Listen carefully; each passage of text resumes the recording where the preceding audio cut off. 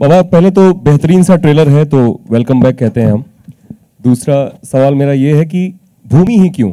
भूमि से ही क्यों हम कम बैक किए? कुछ खास वजह थी आपके जहन में? वेल well, uh, मुझे सुन के अच्छा लगा कि आपको ट्रेलर अच्छा लगा है। और पिक्चर भी वैसे ही है बहुत अच्छी पिक्चर है। इस, इसका इसकी स्टोरी इसकी कहानी एक बहुत ही इमोशनल कहानी है।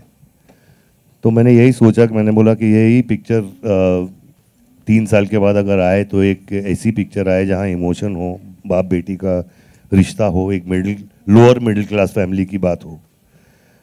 तो आ, मुझे बहुत बहुत अच्छा लगा इसीलिए मैंने भूमि की। एंड बाबा पहले दिन का थोड़ा वाक़ बताएँ जब आपने तीन साल के बाद कैमरा फेस किया और क्या माहौल था? क्योंकि ओमंग ने तो शेयर कर दिया है हम आपसे भी जानना चाहेंगे। माहौल बहुत अच्छा था। ऐसा लगा कि मैं फिर वापस घर आ गया हूँ। लाइट्स और कैमरा और एक चहल पहल सेट की। तो बहुत बहुत मज़ा आया। थोड़ा बहुत नर्वस था लेकिन आ, पहला डायलॉग ओके हो गया तो ठीक हो गया उसके बाद। से सवाल है कि क्या आप जब स्क्रिप्ट आई आपके पास या आप स्क्रिप्ट बना रहे थे तो क्या कंगना ही दिमाग में थी कि इस रोल को कंगना ही करेंगी? स्क्रिप्ट से पहले कंगना ही थी। मैं मैं मतलब 2014 से परस्यू कर रहा हूँ कंगना जी को और मैंने बहुत सारी कहानियाँ सुनाई। तो वो एक होता है डेस्टिनी की बात होती है कि ये किरदार, ये फ़िल्म उस वक्त होनी थी, संजोग की बात है कि हमने फाइनली यही सिलेक्ट की स्क्रिप्ट कंगना को ये किरदार पसंद आया हमने यही फ़िल्म बनाई।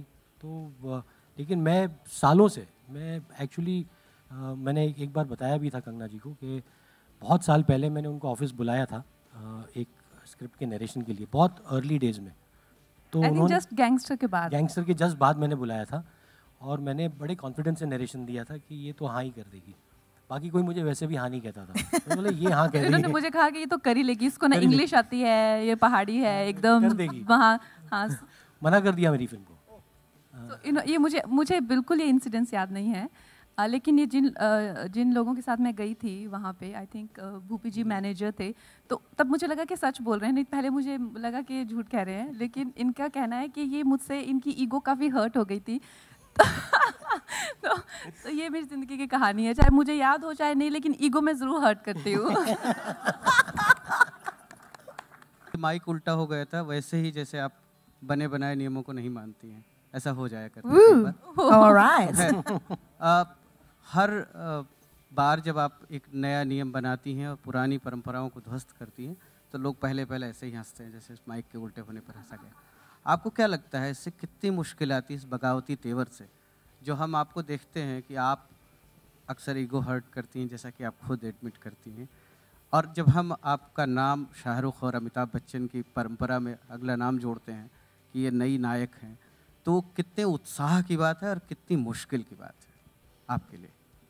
आ, मुझे आ, मुझे सबसे पहले तो मैं ये कहना चाहूँगी कि मेरी जो जर्नी है वो काफ़ी अलग है। मैं आज आ, अपने घर से मनाली से जब आ रही थी तो एयरक्राफ्ट में बैठ के मैं सोच रही थी कि आप लोगों से मिलना होगा और आ, किस तरह के प्रश्न आएँगे। तो आ, मुझे ऐसा लगा कि कि क्या मेरी जर्नी सच में ही इतनी अनयूजल है कि सिर्फ़ मुझे लगता है?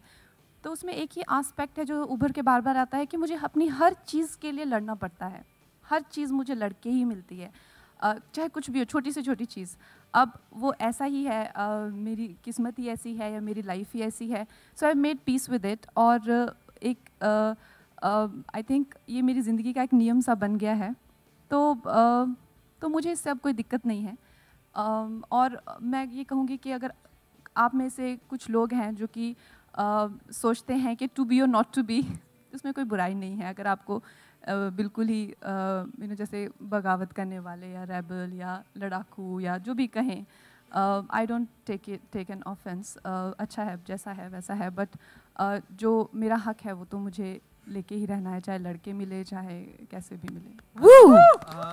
एक अच्छी बात हो गई कि नवाज़ जी हैं और इनके साथ क्योंकि इनके बहुत सारे फ़ैन फॉलो फॉलोइंग है। और आई होप इन्हें जो जो लोग देखने आए साथ में मुझे भी देख लें तो उनके भी कुछ फैंस मुझे भी फॉलो करेंगे। आई एम होपफुल और uh, मेरी जो कैरेक्टर है इस फ़िल्म में मैं फुलवा की किरदार निभा रही हूँ। फुलवा एक मोची है। इंडियन फ़िल्म हिस्ट्री में कभी भी आपको कोई आ, फीमेल मोची देखने को मिल, नहीं मिला है। आ, जो इतनी हॉट है और आ, मैं इस फ़िल्म में टाके लगाने के पाँच रुपये लेती हूँ और मैं बहुत शातिर हूँ बिज़नेस माइंडेड हूँ।